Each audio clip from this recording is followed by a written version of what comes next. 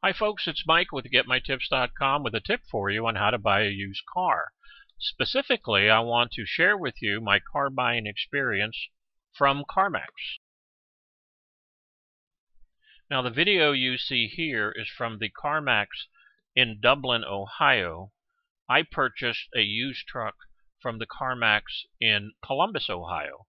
But it doesn't make any difference where you purchase from CarMax throughout the country the way that they operate is the same at every location. By the way, when I purchased my truck, CarMax had no idea that I was going to make a video. I began my search at carmax.com and I searched for a low mileage pickup truck under $20,000. As luck would have it, I found the pickup truck I was looking for in Columbus, contacted the store, and spoke to a salesman. This is the actual pickup truck that I purchased now in the side yard of my home. The website said that the truck was $18,599 with about 34,000 miles on it.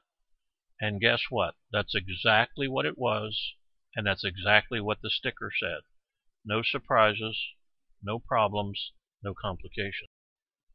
Now, even though I thought that the price CarMax was asking for the truck was fair, I figured if I was a cash buyer that they might negotiate. So I made an offer of $17,000 for the truck and was quickly informed by the salesman that CarMax does not negotiate price on vehicles, that the price on the website and the price on the sticker on the vehicle is the price you pay.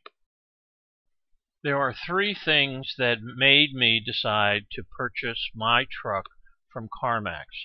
And that is number one, they have a five day return policy. No questions asked.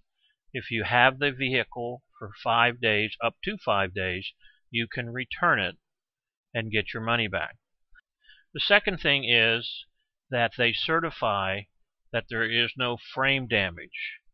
And the third thing that I liked was the fact that they certified that the vehicle had never been in a flood.